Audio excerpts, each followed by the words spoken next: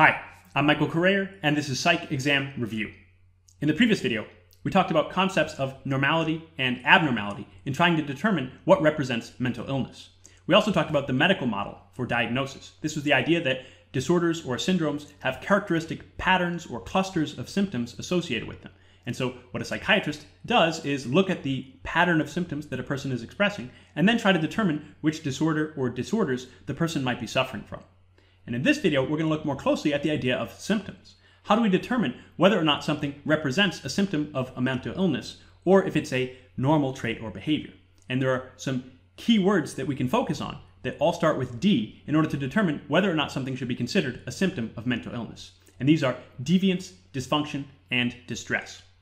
So, deviance refers to thoughts or behaviors that are considerably different from the thoughts and behaviors of most people. Now, this is mostly what we focused on in the previous video, thinking about how do we determine what's normal or abnormal. And obviously, this is not easy to do, as we saw. But one question we can ask is would most people do this in the same circumstances? And circumstances are important. So, for instance, if you jump up on a table and start singing at the top of your lungs, if you're at a rock concert, then this might be considered normal. You might say most people would do that in the same circumstances, or many people would do that in those circumstances. But if you were to exhibit the same exact behavior, jumping up on the table and singing at the top of your lungs in the library, now we might say, well, that's deviant. Most people would not do that in those circumstances. And so the same behavior might be considered deviant in different contexts. And so this brings in the role of social and cultural norms in the process of trying to diagnose and determine what things are considered symptoms. But of course, deviance alone is not enough to make something a symptom. We also look at dysfunction.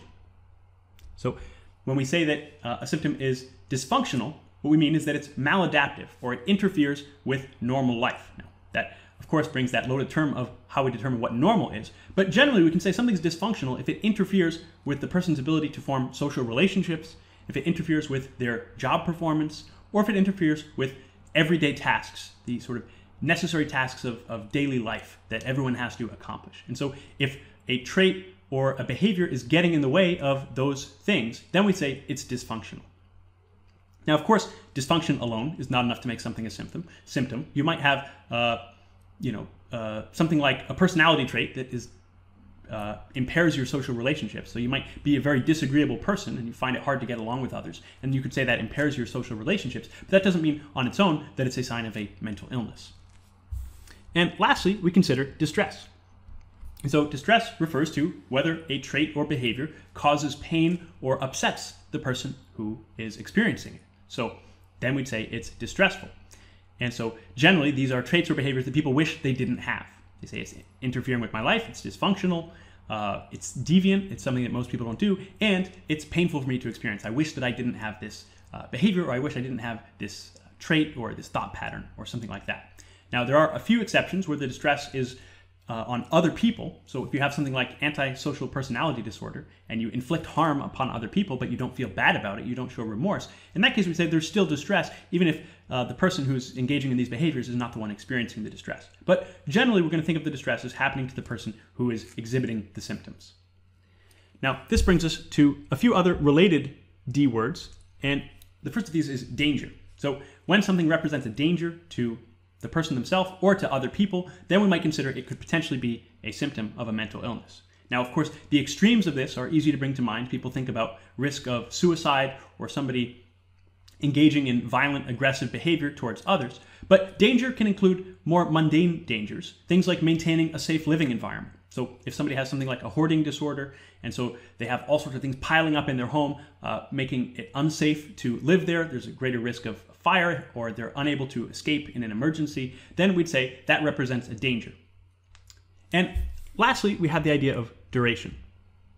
And this is the idea that many of the symptoms of mental illness are things that people experience, and they experience them only for very brief periods of time. And so the duration matters in determining whether or not this represents a symptom of illness or not. So, for instance, many people, most people, have probably experienced a depressed mood, but often it's very brief if it only lasts for a day or two, we have an idea of what depression feels like. But that doesn't mean, of course, that we have depression. And so there's a big difference between feeling depressed mood for a day or two and feeling it for several weeks. And so that can be an important distinction when trying to determine is my depressed mood a symptom of a mental illness or is it just that I'm experiencing this depressed mood, but in two or three days it will be uh, it will be gone on its own. And so the frequency and the severity of symptoms also matters. And this is one of the big challenges of diagnosis because psychiatrists meeting with potential patients often don't have a lot of time to assess the duration of these symptoms, the frequency, and how severe they are. And so assessing potential symptoms in brief consultations represents a problem. On the one hand, we might say that it would be better to have more consultations over a longer period of time. The psychiatrist could get a better assessment for the frequency, severity, and duration of these symptoms. On the other hand, we might say, well, we don't want to uh, stretch out the length of diagnosis. There are some people who might benefit from an immediate diagnosis. And in that case, we don't want to say that you know you have to have 10 consultations with a psychiatrist before you receive your diagnosis and you're able to start getting treatment. And so we have to try to find a balance between how much we can assess the duration, the frequency, and the severity in a brief consultation, and how long are we willing to wait, where we might potentially be withholding treatment from people who could get it sooner if we made a faster diagnosis. And so, one way that psychiatrists try to get around this is the use of semi structured interviews. And these involve open ended questions that give the patient a chance to express themselves, to talk about their experience with the symptoms that they have. And this helps the psychiatrist try to get a feel for the severity of these symptoms. And we can think about psychiatrists as being sort of trapped between two extremes here.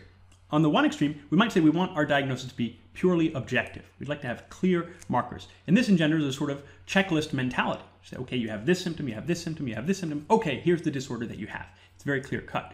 But of course, the way that patients are experiencing their symptoms, they probably don't have a clear cut way to express that to a psychiatrist right? They don't have a, a, nice, clear checklist in their mind of the symptoms that they have and just how frequent they are and how they compare to what other people experience in similar situations. And so they're dependent a bit on the psychiatrist for that. And that means they have to be able to express those symptoms clearly to the psychiatrist. And this means this is going to be a bit subjective. And it's important to have a sense of trust and openness between the client and the psychiatrist.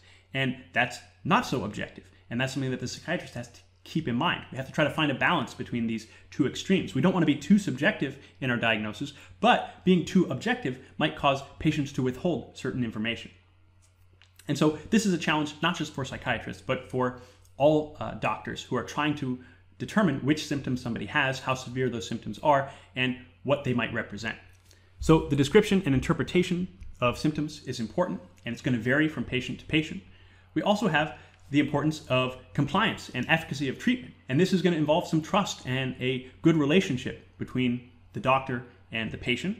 And we also know that the relationship between the doctor and the patient can play a role in the patient's overall well being. And that's something that we'll return to in the later unit when we talk about treatment. Hope you found this helpful. If so, please like the video and subscribe to the channel for more. Thanks for watching.